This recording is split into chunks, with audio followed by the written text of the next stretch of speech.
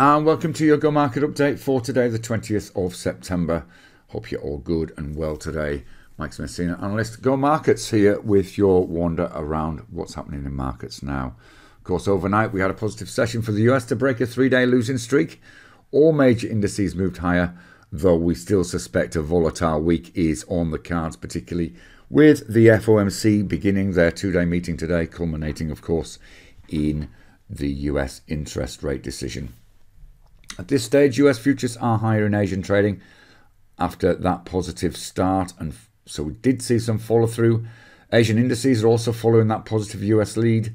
ASX was up in excess of a percent, but it's just moved down to about a percent to the upside. All 11 sectors pointing to a higher move today. Uh, European equity futures are also pointing to a higher open, uh, but really, uh, caution is the order of the day, really, in light of what's coming out in the next 48 hours. Uh, the US dollar index closed towards the low of the session yesterday on equity strength. It is near support but failed to break through that, rejected a move through that, in fact. Uh, gold bounced slightly to around about 1675 off its 1660 low that we haven't seen for two years. And all rejected a move through support and remains in a tight range between 90 and 95 on the Brent crude contract CFD. Copper didn't move much, but is holding 350 relatively comfortably. And the VIX, although did drop a little bit on that equity strength, does remain over the 25 key level. We did see Bitcoin retest and bounce off that long term 18.6 thousand support to continue last week's softness.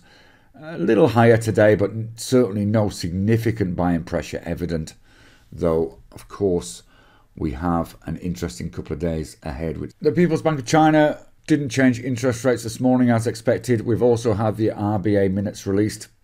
Little signs of any impact at all on the AUD. Later on, we've got German PPI, US housing, and of course, Canadian CPI. Of course, the latter will have little impact outside of what happens with the Canadian dollar. A couple of charts of interest this morning that caught our eye. Uh, we're going to start with the Euro Kiwi. You can see there we've had a really strong session with the Euro in today's trading. General weakness in the Kiwi as well, so this looked like a good pair to keep an eye on. We're going to break through 168.55 resistance.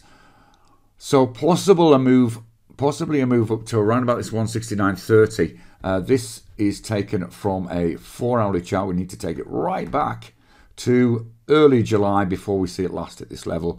So possibly a 60 to 65 pip up move on that. On the ASX, we're seeing further strength in Perenti Global Limited, ticker code PRN. You can see we've had a little pause here. Uh, so we've got an eye on this 96 level uh, with a test of $1 on the cards. We think the higher probability trade would be if it breaks $1, but certainly one to keep on your radar. Trade safe, and we'll see you again soon. Bye bye for now.